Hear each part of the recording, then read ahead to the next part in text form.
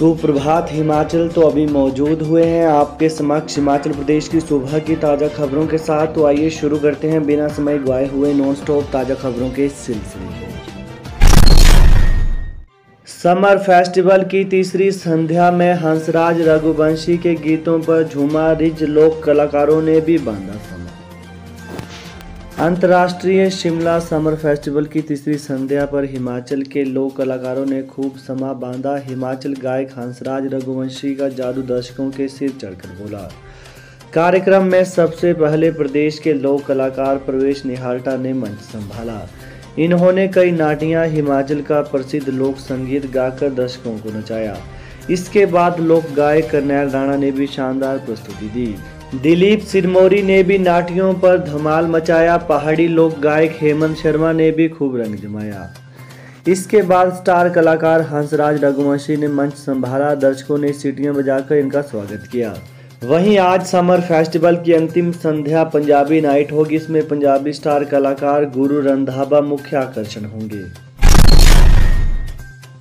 केंद्र ने हिमाचल के लिए सात नई इनाम मंडियों को दी मंजूरी, दो करोड़ दस लाख रुपए जारी। केंद्र सरकार ने हिमाचल प्रदेश के विभिन्न जिलों के लिए सात नई नेशनल एग्रीकल्चर मार्केट इनाम मंडियों को मंजूरी दे दी है। इससे पहले केंद्र से मंजूर हुई 19 मंडियों में ऑनलाइन कारोबार हो रहा है और ये सभी मंडियाँ केंद्र सरकार के पोर्टल से जुड़ी हुई हैं। सात नई इनाम मंडियाँ विकसित करने के लिए केंद्र सरकार ने दो करोड़ दस लाख रुपए जारी किए हैं। अभी तक कुल एक लाख चौबीस हज़ार चार सौ सात किसान, एक हज़ार नौ सौ छिहत्तर व्यापारी, छियासठ कृषि उत्पादक समूह इनाम मंडियों में पंजीकृत हैं। प्रधानमंत्री नरेंद्र मोदी के साथ बैठक में मोबाइल साथ नहीं ले जा सकेंगे मुख्य सचिव। प्रधानमंत्री नरेंद्र मोदी 16 और 17 जून को धर्मशाला में होने वाली देश भर के मुख्य सचिवों की महत्वपूर्ण बैठक की अध्यक्षता करेंगे। इस बैठक में हिस्सा लेने वाले मुख्य सचिवों को अपने साथ मोबाइल फ़ोन ले जाने पर पाबंदी रहेगी। गोपनीयता के कारणों से यह फैसला लिया गया है। प्रधानमंत्री के अभी तक के प्रोग्राम के अनुसार वह 16 जून को दोपहर करीब 12 बजे धर्मशाला के साई मैदान पहुँचेंगे। यहाँ से वो सीधे एचपीसीए स्टेडियम में बैठक में भाग लेने के लिए जाएँगे। यहाँ करीब 12 से लेकर 9 बजे तक मुख्य सचिवों के साथ बैठक करेंगे। दिल की बीमारियों को दूर करेगा कद्दू का पाउडर, नोनी विश्वविद्यालय के विद्यार्थियों ने किया शोध। कद्दू के बने पाउडर का हलवा खाने और इसका सूप पीने से दिल की बीमारियों को दूर किया जा सकता है। सोलन ज़िले के नोनी विश्वविद्यालय ने कद्दू पर शोध कर इसका पाउडर तैयार किया है। यह पाउडर साल भर खराब नहीं होगा, इसे जल्द बाज़ार में उतारने की तैयारी है, जिसके बाद यह आसानी से उपलब्ध हो सकेगा। वहीं शोध के दौरान नोनी विश्वविद्यालय के फ़ूड साइंस विभाग के विद्यार्थियों ने पाया कि कद्दू में मौजूद मैग्नीशियम दिल को स्वस्थ रखने में मदद करता है। नैना देवी में अवैध खैर काटने में दो हफ़्ते बाद दायर होगी चार्जशीट। वन विभाग के अधिकारियों, कर्मचारियों समेत सत्तर को बनाया आरोपी। श्री नैना देवी जी वन रेंज में फरवरी 2018 में हुए खैर के अवैध कटान के मामले में दो सप्ताह बाद चार्जशीट दायर होगी। वन विभाग के 15 अधिकारियों और कर्मचारियों समेत 70 लोगों को इसमें अभी तक आरोपी बनाया गया है। विजिलेंस फ़ाइल तैयार कर रही है। इसमें और कई आरोपी शामिल हो सकते हैं। बता दें कि वन रेंज की पाँच बीट सलोहा, भांगड़ा, बडोहो, कोट और बस्सी में करीब अठारह हज़ार खैर के पेड़ों पर कुल्हाड़ी चली थी। विभाग ने इनकी कीमत करीब पैंतीस करोड़ आंकी है। महिला यात्री को हमीरपुर में अड्डे पर छोड़कर बस ले गया चालक। एचआरटीसी प्रबंध निदेशक ने दिए चार्जशीट करने के आदेश। चालक की लापरवाही से हिमाचल पथ परिवहन निगम एचआरटीसी बस में बेटी के साथ सफ़र कर रही महिला को परेशानी झेलनी पड़ी। महिला पिछले कल सुबह नौ बजकर पाँच मिनट पर शिमला आईएसबीटी से रोहड़ू चामुंडा बस में ज्वालाजी जाने के लिए सवार हुई। हमीरपुर बस अड्डे में महिला बेटी के साथ शौचालय जाने के लिए बस से ये उतरी और लेकिन लौटने पर बस काउंटर पर नहीं थी।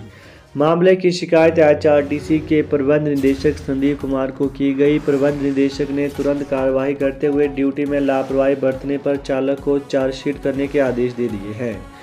वहीं शिमला के सुन्नी की रहने वाली संगीता ने बताया कि बुधवार को उनकी बेटी को बॉय स्कूल ज्वालाजी में लैपटॉप मिलना था। इसलिए मंगलवार को ज्वालाजी जा रहे थे। हमीरपुर बस अड्डे में चालक ने कहा कि थोड़ी देर बस रुकेगी। हिमाचल के बहुचर्चित छात्रवृत्ति घोटाले में आईटीएफटी संस्थान प्रमुख गिरफ़्तार। हिमाचल प्रदेश के बहुचर्चित दो सौ पैंसठ करोड़ से अधिक के छात्रवृत्ति घोटाले में सीबीआई ने आईटीएफटी संस्थान मोहाली के प्रमुख मुकेश कुमार को चंडीगढ़ से गिरफ़्तार किया है। इस संस्थान पर सबसे ज़्यादा 40 करोड़ की स्कॉलरशिप हड़पने का आरोप है। सीबीआई को काफ़ी समय से आरोपी की तलाश थी। अब तक इस मामले में विभिन्न संस्थानों के 25 से ज़्यादा लोगों की गिरफ्तारी की जा चुकी है।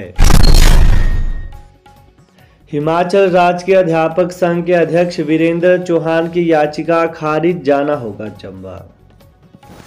हिमाचल प्रदेश राज्य के अध्यापक संघ के प्रदेश अध्यक्ष वीरेंद्र चौहान के स्थानांतरण आदेशों को चुनौती देने वाली याचिका खारिज हो गई है। चौहान को अब जिला चंबा के चांजू स्कूल में जाना होगा। चौहान के स्थानांतरण आदेश को प्रदेश हाईकोर्ट ने उचित ठहराया है। इसी कड़ी में पिछले कल चौहान को शिमला स्थित रझाना स्कूल से उच्च शिक्षा निदेशालय ने पदभार मुक्त भी कर दिया है। न्यायाधीश तलोक सिंह चौहान और न्यायाधीश सी बी बारोवालिया की खंडपीठ ने कहा कि याचिकाकर्ता वर्ष 2008 से शिमला के आसपास ही नौकरी कर रहा था। इस स्थिति में स्थानांतरण आदेशों को यह कहकर चुनौती नहीं दे सकता कि उसका स्थानांतरण राजनीतिक द्वेष के कारण हुआ है। हिमाचल के उन्नीस मेधावियों को आज मिलेंगे लैपटॉप। सीएम जयराम तेरह से करेंगे संवाद।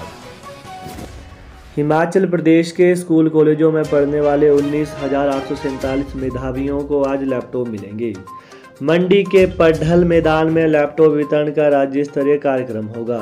इस दौरान मुख्यमंत्री जयराम ठाकुर 2900 मेधावियों को लैपटॉप देंगे। शेष मेधावियों को विधानसभा स्तर पर लैपटॉप दिए जाएँगे। प्रदेश के 55 स्थानों पर आज लैपटॉप का बंटन होगा। मुख्यमंत्री जयराम ठाकुर तेरह स्कूलों में मेधावियों से इस दौरान संवाद भी करेंगे। इसके अलावा पूर्व मुख्यमंत्री धूमल सहित सभी मंत्री, विधायक और चेयरमैन अपने अपने हलकों में लैपटॉप वितरण करेंगे। शिक्षा मंत्री गोविंद सिंह ठाकुर आज मंडी के राज्य स्तरीय कार्यक्रम में मौजूद रहेंगे। पेंशनर्स वेलफेयर एसोसिएशन ने मांगों को लेकर मुख्यमंत्री को सौंपा ज्ञापन। Pensioners welfare association Himachal Pradesh का एक प्रतिनिधिमंडल एसोसिएशन के प्रदेश प्रधान आत्माराम शर्मा की अध्यक्षता में मुख्यमंत्री जयराम ठाकुर से मांगों के संबंध में प्रदेश सचिवालय में मिला। और मुख्य मांगों से संबंधित एक ज्ञापन सौंपा। उन्होंने मुख्यमंत्री से आग्रह किया कि पेंशनर्स की मांगों पर मंथन के लिए एसोसिएशन की नवनिर्वाचित कार्यकारिणी को शीघ्र बुलाया जाए। वहीं इसी दौरान मुख्यमंत्री ने संगठन के साथ शीघ्र वार्ता करने का आश्वासन दिया। तत्पश्चात प्रतिनिधिमंडल मुख्यमंत्री के ओएसडी महेंद्र धर्माणी और मुख्यमंत्री के सलाहकार एवं प्रधान सचिव आर एन भत्ता से मिला और उन्हें मुख्य मांगों से अवगत करवाया। उन्होंने शीघ्र मुख्यमंत्री से बैठक करवाने का आश्वासन दिया। मुख्य मांगों में जेसीसी की बैठक 2016 के बाद सेवानिवृत्त पेंशनर्स की पेंशन का शीघ्र पुनः निर्धारण पैंसठ, सत्तर व पचहत्तर वर्ष की आयु पर दिए गए क्रमशः पाँच, दस व पंद्रह प्रतिशत पेंशन भत्ते का निधान छठे वेतन आयोग के अनुसार प्रदत्त पुनः निर्धारित मूल पेंशन पर निर्धारित करना। चिकित्सा बिलों की अदायगी के लिए पर्याप्त बजट का प्रावधान करना और 2016 से पहले सेवानिवृत्त पेंशनर्स की पेंशन का केंद्र की तर्ज पर पुनः निर्धारण आदि शामिल है। तो ये थे आज सुबह के मुख्य समाचार तो ताज़ा खबरों को पाने के लिए चैनल को ज़रूर सब्सक्राइब करें। थैंक्स फॉर वॉचिंग जय हिंद, जय हिमाचल।